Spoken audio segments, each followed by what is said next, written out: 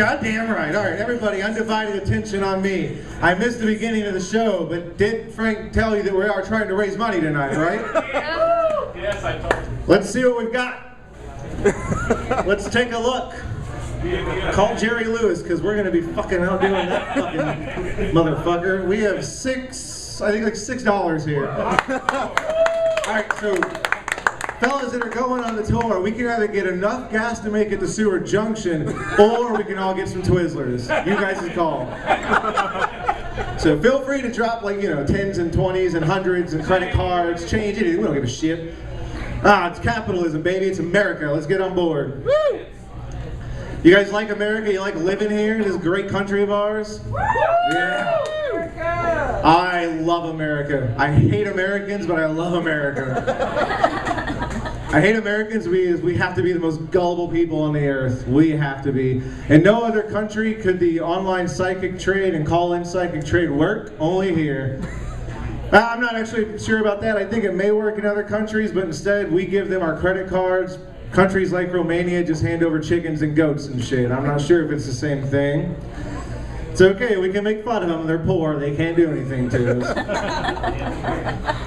Uh, I just don't understand the whole psychic concept. I just think it's unbelievable. Is anybody here believe in that shit? Psychics? Anybody? All right, so we have one stupid person in the house. All right, it's it's ridiculous. Have you ever seen like John Edwards crossing over? You have 400 people in a room. He walks up to one person and goes, "I think I think I'm connecting."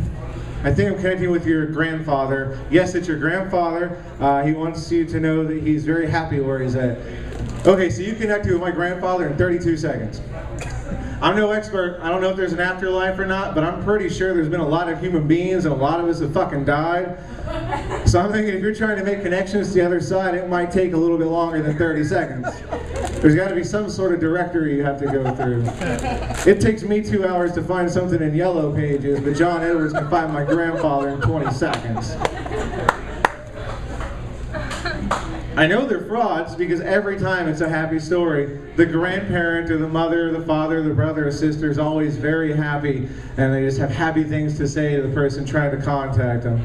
Just once, I'd love to see a psychic go, Yes, I've got your father on the other side. Ah, a lot, a lot of negative energy with him. Ah, he, he is really racist, isn't he?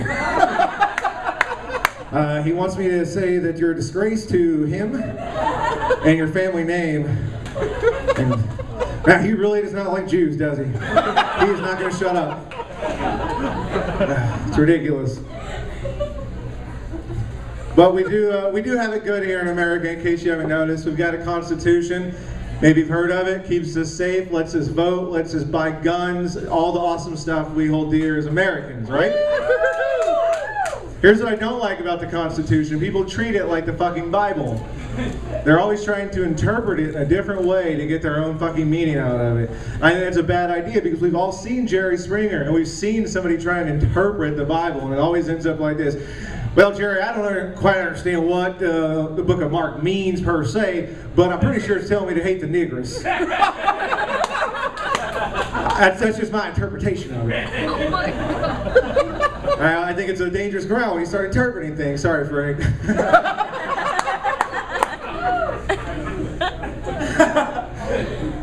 Ah, Jesus. We're too PC in this country. Did you know poor people are no longer poor people? They're now underprivileged. And rich people are the fortunate. And another word for poor people is the less fortunate, which is kind of a stupid thing to me. I mean, that tells me that if a couple more breaks had gone their way, they could be the CEO of like Boeing or some shit. I don't, I don't buy that because I don't think the guy that hangs out in the alley behind Katz's Deli masturbating all the time was just a couple of life steps away from turning it around. No matter what he did in his life, the only result for him is masturbating behind Katz's Deli. I don't like that illegal immigrants are now called undocumented citizens. I don't like it because that's what I am. I'm chronically unemployed. I haven't, paid, I haven't paid taxes in two years, and I don't have any sort of form of ID. I'm an undocumented citizen. Not only are they taking my job, they're taking my fucking title. Because I can pick the fuck out of some fruit.